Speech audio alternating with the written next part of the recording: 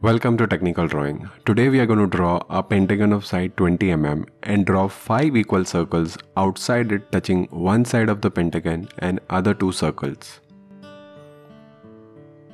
So first we will draw a pentagon of side 20.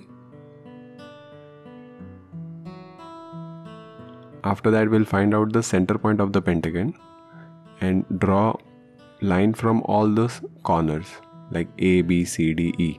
See this? So find the center point and draw line passing through all these corners. Now we need to bisect this exterior angle outside angle right?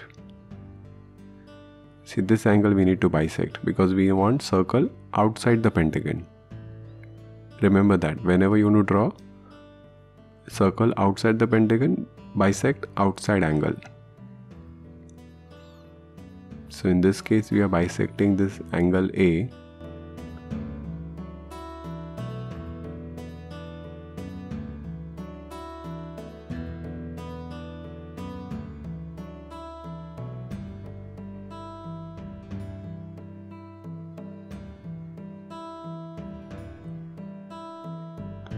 and then you extend a line.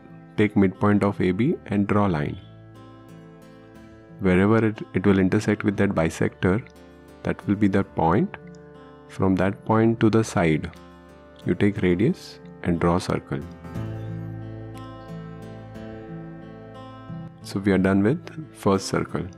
Now what we need to do we need to transfer. We'll do naming. This is G this is O take O to G and rotate so we are transferring this circle.